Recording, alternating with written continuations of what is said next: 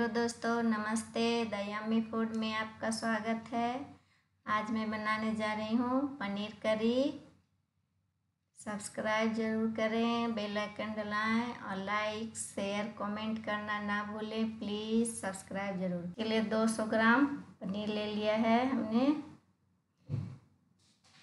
इसको इस तरह काट लेंगे कि उसमें दो टमाटर पीस कर ले लिया है, धनिया पत्ती, तेज पत्ती, दो बारीक कटा हुआ प्याज और एक हरी मिर्च। पनीर फ्राई करने के लिए तेल को हमने गर्म कर लिया इसमें थोड़ी सी चुटकी भर हल्दी डालेंगे ताकि पनीर में जो है कलर अच्छे आए और पनीर में जो पानी रहता है उसका छीटे भी ना पड़े, इससे दो फ़ायदे होते हैं। पनीर को हम फ्राई कर लेंगे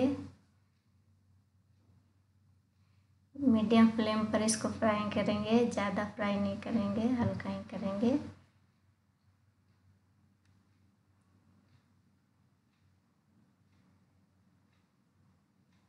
हमारा पनीर फ्राई हो गया इसे अब हम एक प्लेट में निकाल लेंगे। अब दूसरे बैच में भी जो बचा हुआ पनीर है उसको इसी तरह फ्राई कर लेंगे।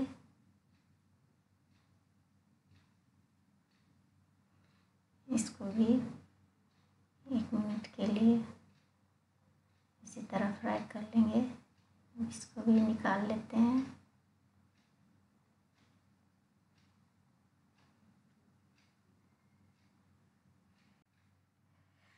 तेल में आधी चम्मच जीरा डालेंगे और एक तेज पत्ता। और बारीक कटे हुए प्याज भी डाल देंगे। इसको मीडियम फ्लेम पर फ्राई करेंगे। इसको जब तक फ्राई करेंगे, तब तक के ये गोल्डन ब्राउन ना हो जाए। अच्छी तरह से इसको फ्राई कर लेंगे।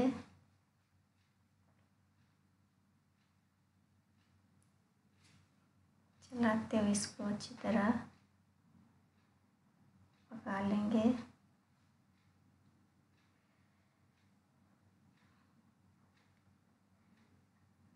हमारा प्याज लगभग भून गया है। देखिए दोस्तों, अच्छी तरह से भून गया है। अब इसमें हम एक चम्मच लहसुन अदरक का पेस्ट डालेंगे। आधी चम्मच हल्दी पाउडर। एक चम्मच धनिया पाउडर, आधी चम्मच कश्मीरी लाल मिर्च, आधी चम्मच तीखे के लिए मिर्च पाउडर डालेंगे। थोड़े से जीरा पाउडर, थोड़ी सी काली मिर्च पाउडर डालकर अच्छे से इसको भून लेंगे।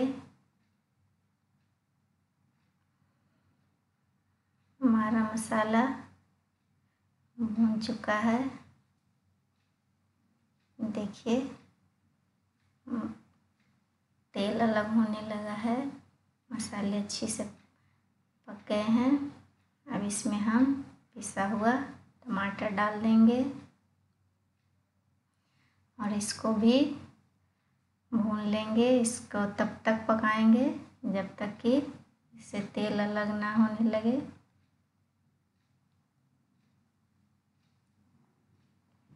अच्छी तरह मिलाते हुए भुनेंगे। यहाँ पे स्वाद के अनुसार नमक डालेंगे। नमक डालने से है, टमाटर जो जल्दी पकता है। देखिए दोस्तों, अब हमारा मसाला भून चुका है। तेल दिखाई पड़ने लगा है। मसाले भून चुके हैं। अब इसमें एक गिलास पानी डालेंगे और इसको मिला लेंगे मसाले को अच्छी तरह।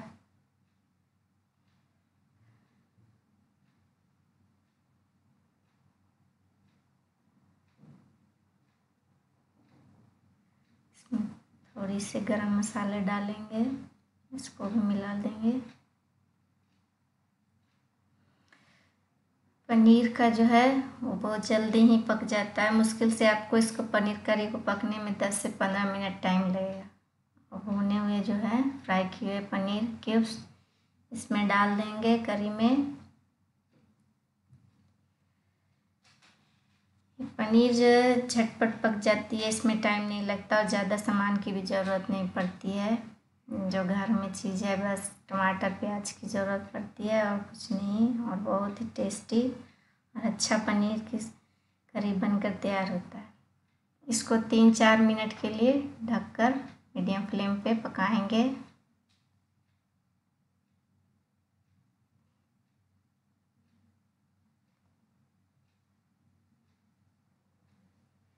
हम्म, देखिए दोस्तों ये हमारा पनीर करी रेडी है, अब ग्रेवी।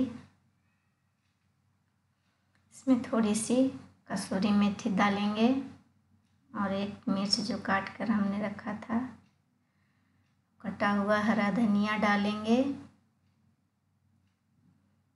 और गैस का फ्लेम बंद करके इसको दो मिनट के लिए इसी तरह ढक कर रहने दें हमारा पनीर करी तैयार है। बहुत ही सॉफ्ट पनीर बनकर तैयार हुआ है और बहुत जल्द ही बहुत कम समय में बन गया।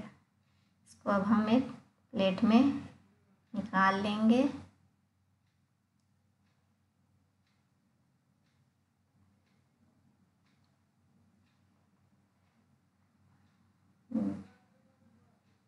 एक प्लेट में इसको हम इस पर गार्निश करेंगे हरी धनिया से। लाइक शेयर कमेंट करना ना भूलें। प्लीज़ सब्सक्राइब ज़रूर करें।